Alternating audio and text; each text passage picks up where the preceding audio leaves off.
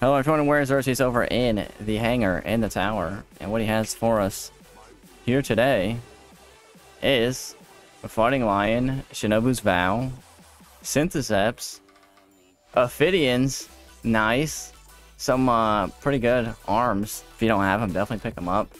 For legendary weapons, mm, Slide Shot, Vorpal, I'm pretty sure Banshee just sold that roll. Snapshot Outlaw, Field Prep Full Court, Pulse Monitor Vorpal, and then nope, no Trials Armor. Unfortunate. But there it is for Zara this week. Definitely pick up those arms. Be sure to like, comment, subscribe, and next our